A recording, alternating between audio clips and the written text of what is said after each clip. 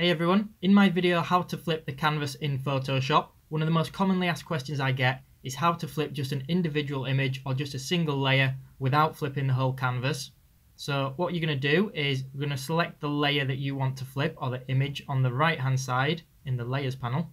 You can see I've selected that image there so I can move that about. We're going to hit Ctrl and T on our keyboard. You can see that's put a selection around the image. And with our mouse we're just going to hover over the image, right click and click flip horizontal. You can also flip it vertical in the same way. And then once you've done that, you're just going to hit enter on your keyboard. And that's it. So it could not be easier. And you can see from the dragon in the background that it only flips one image. It doesn't flip the whole canvas this time. So I hope you guys found this useful. If you did, make sure you hit that thumbs up button. Leave me a comment below and let me know what other videos you guys want to see next. And of course, make sure you subscribe for more content. Thanks for watching everyone.